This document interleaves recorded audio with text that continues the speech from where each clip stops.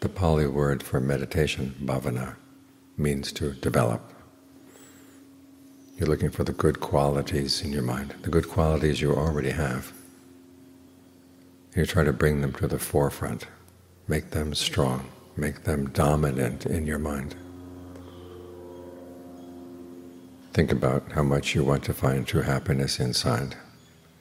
And that gives rise to the desire to do the meditation. You have to maintain this desire. So think of good reasons why you want your mind to be here and not wandering off someplace else. And then stick with it.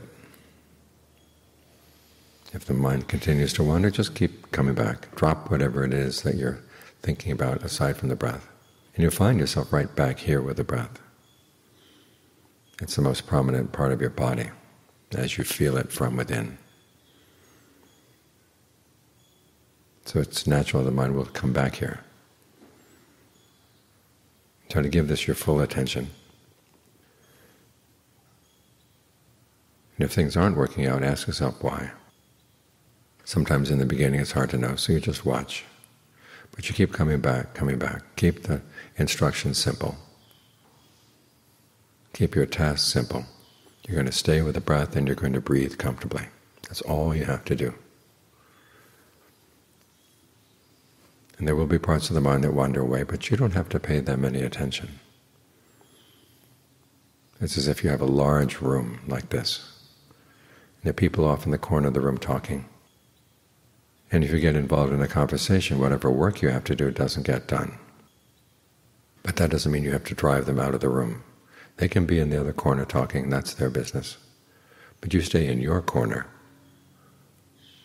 Stay focused on the breath. And keep reminding yourself that this is a good place to stay.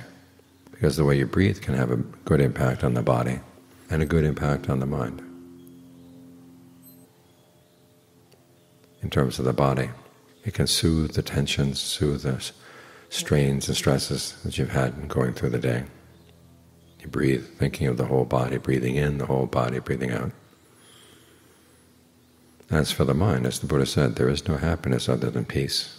You want to give the mind a place where it can stay with a sense of well-being. And then the mind becomes stronger.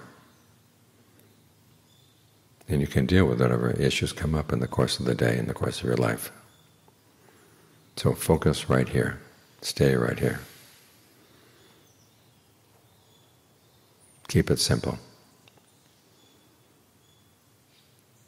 And as for complexities, just let them off to the side. As I said, you don't have to wipe out all your other thoughts. Just simply don't pay them any attention. They're like little dogs that come around, wanting to be fed.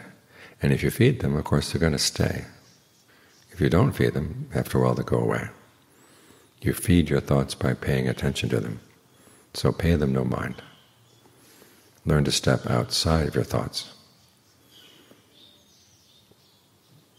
And you find that then you are more in control. Otherwise, your thoughts control your life.